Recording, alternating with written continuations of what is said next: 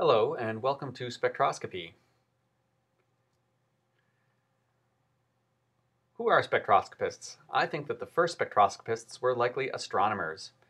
If you think about it, spectroscopy is a way to investigate molecular structure without actually having to touch or interfere with the molecule, for the most part. And if you're trying to figure out the chemistry of gas clouds in space or other planets, or the surface of the sun, spectroscopy is the way to do it. The first observations of spectroscopy were likely the absorption lines in the solar spectrum. Here we see a quote from Maxwell, the famous physicist, on the importance of spectroscopy and celebrating its contributions to science, and of course, mentioning specifically um, astronomy and uh, uh, the universe uh, as he sort of salutes the, the field. So spectroscopy is going to use light, or really electromagnetic radiation, and of course a little aside to smashing molecules to bits, in order to understand molecular structure and determine the molecular structures of molecules that we cannot see. You can't see the molecules in a test tube any more than you can see the molecules on the surface of Saturn. But with spectroscopy, you can actually get the structures of both. So, let's consider the electromagnetic spectrum. Of course, it's a very wide range of energies, but there's some famous regions that we're very familiar with. Of course, visible light would be one of them. We're very familiar with visible light and using visible light to investigate uh, certainly atomic structure. The absorption spectra of hydrogen and helium are famous signatures of elements in, say, the solar corona. Um, now, visible light can be used, but also ultraviolet light, just past visible, um, which is responsible for exciting uh, electrons in molecular orbitals of molecules. And so we can gain information about the electronic structure of molecules with visible and UV light. Infrared light is in the range of energy where we see bond vibrations. So you can imagine that infrared light would tell us a lot about bond vibrations. And of course, bond vibrations will be characteristic of the two atoms that are connected to each other and the nature of the bond between them. And really, two atoms and the bond between them describe a functional group. A carbonyl is different than an oxygen or an alcohol. So IR can tell us a lot about the functional groups in a molecule. And of course, the details of IR can tell us a lot about the structure of a molecule as well. But as organic chemists, we're going to find ourselves focusing a lot on the radio spectrum because that is where quantum transitions inside the nuclei of atoms can be found. And we can look at the exact environment of every proton and every carbon in a molecule and also how they are connected together. And if we know their environments and we know the order in which they're connected together, we can tell a lot about the structure of a molecule. So nuclear magnetic resonance is really the bed and bread and butter of organic chemical structure elucidation. And more than half of this course will be spent on nuclear magnetic resonance topics. So let's look at sort of the first uh, uh, way that we might explore structure, and that would be with UV visible light. So there's our three bands that we're going to use, and plus we're also going to use a hammer as well, and we'll see in a second. UV visible light can tell us a lot about electronic structure. Here's two molecules that you'll see uh, in these two molecules. Er, er, anyway, here's two molecules, and the absorbance spectrum has a shift in the wavelength in which the peak occurs. And this shift has a lot to do with the energy transitions between molecular orbitals. You can see one pi system is longer than the other pi system. And when you get these long pi systems, the pi orbitals are all stacked on each other, and they get closer together the more you lengthen the number of pi systems. And of course, if they're closer together, that's less energy to promote an electron from one to another and requires a lower wavelength, a shorter or longer wavelength of light. So here we see that molecule B requires a longer wavelength of light to do the same work that molecule A uh, is experiencing. So a conjugated structure will tend to push these electron transitions up into the UV and then into the visible. And if you have really long conjugated systems, like in beta carotene, you're well up in the visible and you actually have colors. Like for example, beta carotene colors carrots orange. Having said that, UV invisible light is not too useful for determining the details of structure. And so we'll give it a fairly short overview in this course, but um, mostly it is more useful for determining concentrations and, uh, and uh, analyzing systems that we are already familiar with the structure. Um, but uh, it can certainly tell you a lot about pi systems in a molecule. Infrared is very useful.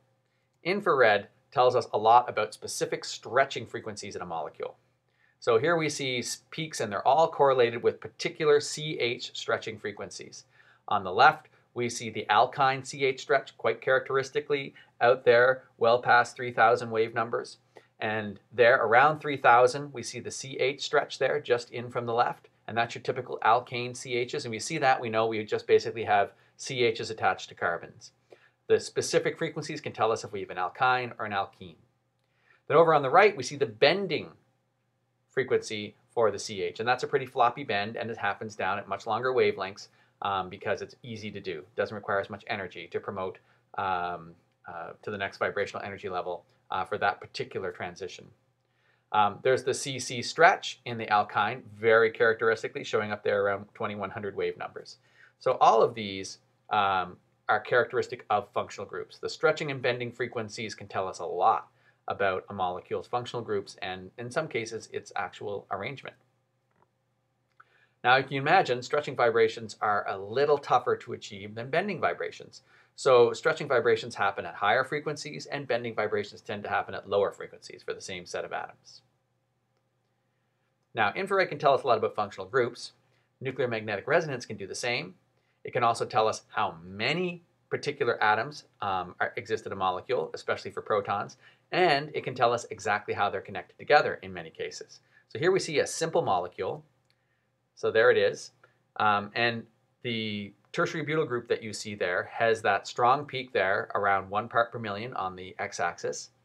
And what you're seeing there is a signal from the protons, a radio signal from the protons. And it's at that particular location because these protons are in a magnetic field. Nuclear magnetic resonance implies a strong magnetic field and then measures the radio frequency emissions from quantum transitions within the nucleus. And here we see uh, these molecules are actually experiencing uh, not as much magnetic field as, sorry, these protons are experiencing not as much of a magnetic field as those two higher peaks. And why? Because they're what we call shielded. Um, they have lots of electrons around them, and that basically hides them to some extent from the magnetic field. Now, if they are perhaps close to an electron withdrawing group, like that carbonyl, we're going to see that they'll have less, electrons around them or less electron density, and they feel a little more of the magnetic field that they are within. As a result, we call them deshielded, and, and their signal comes out a little higher. Well, as you can imagine, functional groups are going to have a big impact on this shielding, and we will be able to see across the scale from 0 all the way up to 10 and sometimes even 12, we'll be able to see signals that are characteristic of protons adjacent to or part of various functional groups. And we can also tell how much there are of them. We can see from the integration here, that red line, we can see that there's two protons in one particular magnetic environment, three protons in another particular magnetic environment, and then of course with the tertiary butyl group, nine protons in yet another. What this spectrum tells us, because all of these molecules are separated. Um, they're not adjacent. None of these protons are adjacent to each other. They're all separated by a, a carbon that has no protons on them. So there's no information about connectivity in this particular NMR. I chose it because it was simple. But this simple NMR tells us that we have three separate groups of protons. Two, three, and nine protons in each group. That's all it tells us. With that information alone, and perhaps knowing there's a carbonyl there, which you could get from the IR, you would draw this structure. I'm sure you would. So even at its most basic level, knowing nothing about uh, how nuclear magnetic resonance works, you could just take the fact that there's three different protons here and a carbonyl group, and you would end up inevitably drawing that molecule. So nuclear magnetic resonance can tell us far more than this. Uh, and we can get nuclear magnetic resonance for all those carbon atoms too. And even um, nitrogens and lots of other atoms you can have specific uh, NMR spectra for and you can get a lot of information about how carbons are connected to protons, how protons are adjacent to other protons, how nitrogens are connected to protons, and you can pretty much determine the connectivity through even a large organic molecule with NMR. You can have a one-dimensional spectrum like this, and an NMR you can have two-dimensional and three-dimensional techniques where you're changing parameters on more than one axis. Um, and as a result, you can get quite a lot of information about how things are connected together. We're only going to scratch the surface of NMR, even though most of our course will be focused on NMR. Uh, but it is an incredibly powerful technique, and I hope that you'll be along for the ride. Mass spectra are not really, it's not really spectroscopy. It's not using the electromagnetic spectrum. It's the idea of impacting a molecule in the gas phase with an electron beam or some other high energy uh, molecule, like a, a, small molecule like ammonia, knocking an electron out or charging it, creating a charge in some way, adding a proton. In some way, we are making an electrically charged molecule, and then in the presence of a magnetic field, uh, we can measure its mass. So here we are, we're able to get the mass of a molecule here, um, and if we know its exact mass, then um, basically we know its empirical formula, or it's actually its molecular formula. You can see that down there on the right, its mass is 112.052 and more decimal points atomic mass units. Only the formula C6H8O2 fits that exact mass. Um, we can also, with the low resolution mass spec up on your left there, we can tell from the fragments what's smashing off in the gas phase. Once you've impacted it with a high energy electron, that energy can't escape from that molecule because it's in the gas phase. It's not bumping into other molecules to pass that energy on. And as a result, it may fragment. Some molecules fragment far more easily than others. This molecule seems fairly robust in that you can see a lot of the complete molecule impacting the detector. Um, but then there are some fragments. And so mass spec can tell us the mass of our molecule, which you know, that's one of the most important things we need to know. What's the mass of it? From the mass, you can propose formulas that fit the mass and then from the fragments, you can actually see sections of it and know that there's a carbonyl group, or likely a carbonyl group, because you can see the CO group coming off. Um, and you can see the ethylene group come off, and you can follow fragments of it. So mass spectrometry is very powerful. And you can even do mass spec of mass spec. You can collect a particular mass of fragment in your mass spectrometer in a trap and then do mass spec on it and further fragment it and you can get fragments of the fragments and you can do mass spec of mass spec of mass spec. So much like the two-dimensional and three-dimensional techniques in NMR, mass spec has these sort of two-dimensional and three-dimensional methods and you can actually unambiguously identify molecules. And this is how they catch Olympic athletes with their steroids. These exact masses, once you know the mass of the molecule and the mass of all the fragments and how they break up, um, and then you collect a particular characteristic fragment of, say, that steroid that's involved, and then fragment that further to prove that it is that fragment, you can basically say, we know what you did, and take away their medal. And that's what mass spec can do. Mass spec can really accurately identify molecules, especially molecules that are already known, and it can tell us the mass of molecules that are unknown, uh, and in many cases, uh, through database methods, tell us whether or not that molecule has ever been discovered before. So if you're doing drug discovery, analyzing natural products, uh, accessing a mass spec database will quickly tell you whether that molecule that you're interested in is owned by someone or whether it's yours. And if it's yours, go with it. So these are the three techniques that we can use. Radio techniques, and that's nuclear magnetic resonance, and that's going to be most of this course. Infrared techniques, and that's following bond stretching energies, and that's going to be one of the first topics we cover in this course. Very useful will get the functional groups. UV invisible light, um, not too useful from the organic chemist point of view, in my opinion. So in my course, we won't be spending a lot of time on it, but very useful for determining the presence of pi systems. And, and of course, mass spectrometry, which is incredibly useful. And true mass spectrometrists will poo-poo even NMR and say mass spec's the only thing you need. Um, we will uh, introduce you to mass spec and show you some of the basic methods of mass spec and tell you how to interpret some pretty simple fragmentation patterns. But again, mass spec deserves a course on its own, and NMR deserves a course on its own, and IR deserves a course on its own. They all deserve courses on their own, but uh, we're going to introduce you to all four of these techniques, and using the information from these, you will be able to determine the structure of small molecules. So that's spectroscopy. Now, let me introduce you to some of the details of the course. So, uh, first of all, the instructor. My name is Barry Linkletter.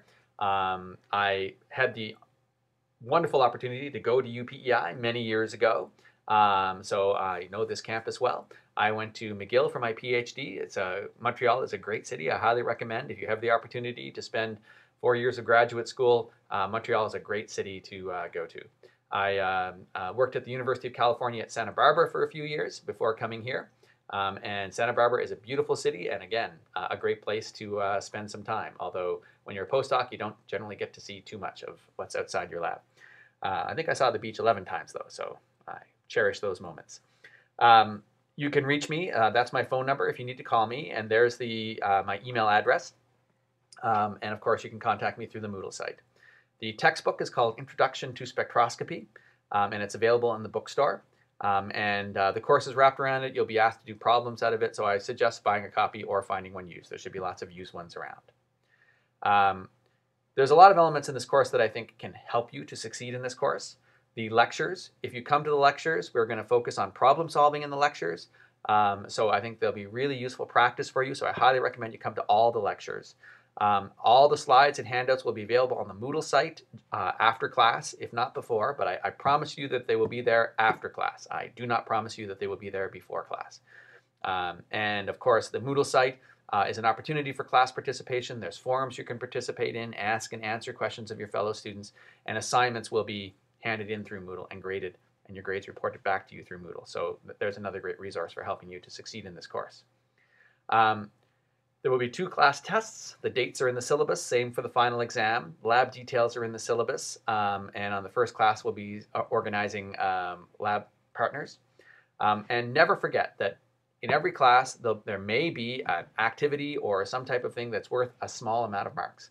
So there's lots of sort of free marks and easy marks that are available in this course. And any assignments, of course, you'll want to do. Some of them are voluntary and some of them are for marks. But if you practice practice, practice, you'll do well on the tests. I promise you that. Um, there's a lab, and there's four lab sections generally, uh, depending on the number of students. And so you'll select one of those lab sections. Uh, all labs take place on Tuesday. Um, the labs alternate every second week, and so there's two sections take place on one Tuesday and two sections take place on the next Tuesday. Um, when you're in the lab, you must wear safety glasses and a lab coat and proper footwear and all those other safety rules, and your lab instructor will tell you about that and your lab instructor will inform you on what they want about lab reports. But basically, I guess the simplest thing is to say is hand them in on time. Um, on the right is basically an outline of the course. We'll start with the basics, um, you know, review Lewis structure and organic naming and things like that. Then we'll introduce infrared spectroscopy, its theory and application. Then we'll introduce you to NMR, um, some basic and intermediate NMR techniques. And then we'll segue over to mass spectrometry um, and, uh, and discuss how to interpret mass spectra data, and then we'll finish off the course with some advanced NMR topics, two-dimensional NMR and using pulse sequences in modern Fourier transform NMR uh, methods. Um, and uh, depending on time, at the end of the course, we may have presentations in which you present your interpretation of a data set. Um, so I hope you'll enjoy uh, the course and I hope you'll enjoy uh, all these subjects. Um, once you finish with spectroscopy, you will be able to interpret spectra data that you see in the literature and you'll be able to actually predict what the structure of a molecule is from spectra data that you might uh, get in, say, a lab like advanced organic chemistry. So these are the topics in more of uh, detail. And I'll not waste much more time on that since I've already gone through them. Next time I do this video, I'll remember that I had these close-ups.